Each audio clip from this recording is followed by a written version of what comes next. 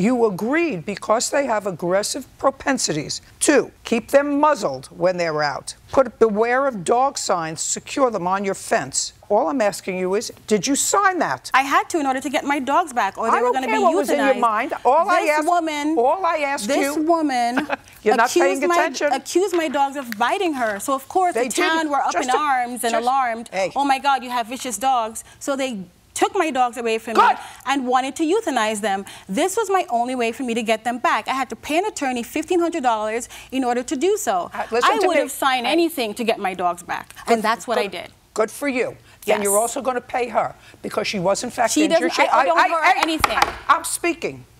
I don't know I'm, anything. I'm speaking. You owe her five thousand bucks. Nope. When I take a dog- listen, if I take a dog to a listen, dog park, last, if I take a dog to a dog park- last word is mine, always.